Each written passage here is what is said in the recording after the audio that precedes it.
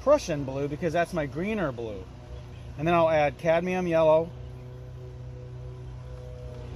And this thing will take a lot of paint, so, you know, mix a lot of paint.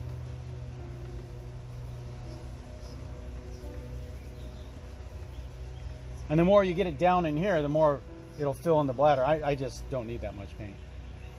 Now, the thing is, it's, it's going to make quite a green, and I actually think that green's okay. But if you look at, there's a lot, the, the light hits the ground, and the ground is kind of brown and orange. And it gives you these kind of orangish reflected lights. You know, plus the light's also hitting some of the leaves on here and reflecting up into the shadows. So you see these kind of orangey things going up into the shadow. So I'm going to add a little bit of red into there. Just a little bit. Makes it a little bit more of a natural orange. And now I'm to get that in. I'll just twist it like that and give myself a really nice point. Sometimes I'll, I'll just take my finger and go like that to get a really nice point. And that'll give me, you know, almost as good of a point. Well, wow, as good of a point as this, pretty much. So I could see that on this right over here, uh, the the left sides of things are catching, um, are going into shadow. If you take each leaf, it's the left side, just as a guide. But you'll find after a while, you don't even need it very much. And, you know, oftentimes I'll just, that's why usually uh, i might even use something a little longer because it kind of gets your hand away from it. But you actually have a lot of control with um, with a big a big brush. You got a big shadow coming here in that one. And variation to that here and there and in the center there it gets a little bit um,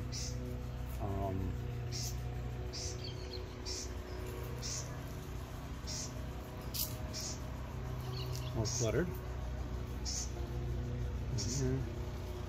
And some of these leaves actually cast shadows over other leaves, so you can see how this one's casting a shadow over here. All this is in shadow. Some of this is in shadow. Down. And it, I'm going to add a lot more red to it now and come down into the dead stuff.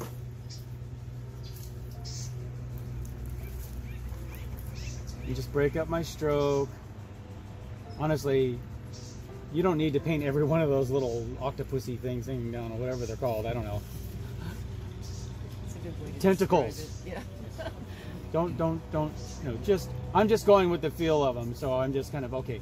This casts a shadow down like this, and then mostly everything over here is in shadow, way off over there, and it just kind of breaks up. We get a couple of little things underneath, underneath little tentacles over here, and uh, our darkest dark is going to be way up under there because Uh, that's where the place is not getting as much light. And I'm going to go ahead and use a violet in there because it's better than black. Black is boring.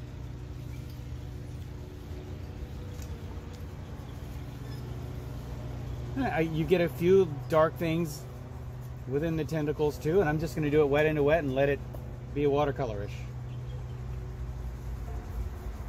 Also down deep into this stuff, in there some of those. You want to hit some dark stuff down deep into these guys. And then if you want if you wanted to just bring it out a little bit, you can take and uh, this is called the backstroke. Sorry, uh, I just made that up. It's early, okay? but see, I'm uh, just kind of cutting them back up into there and I'm getting some interesting little edges there. I can play with those. Great brush. Brush is helping. What's the manufacturer on that? In and out. You see how that gives it some pop? So I'm not really thinking about the whole composition like last week. And you don't always have to do the, the whole. And this is a great place to do little vignettes.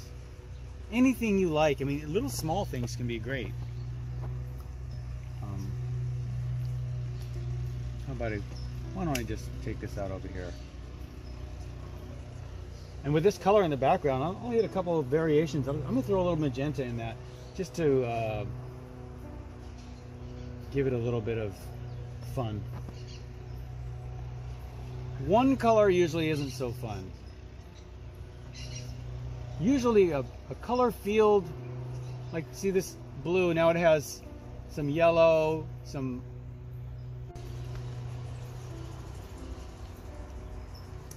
And if you really want to punch it, give it some impact. Hmm. Then you go deep down into the dark and smack a dark in there. I don't know why people don't do that more. Oh yeah, and if you really want a nice dark, I'm not using a whole lot of water on this brush. See how it's dry? The brush is kind of dry. so just make sure your brush is dry and you're getting the, the paint kind of thick and sticky on there. And that'll give you a dark. If you put it on with a lot of water, even though it looks dark on your, it, it'll still dry several values lighter. So like for instance, I want to, I want to pull out this leaf right there. I'm just gonna, and as you can see, it's going on pretty dry. So if you want a dark to dry dark, put it on pretty dry. That's one of the most asked questions in watercolor.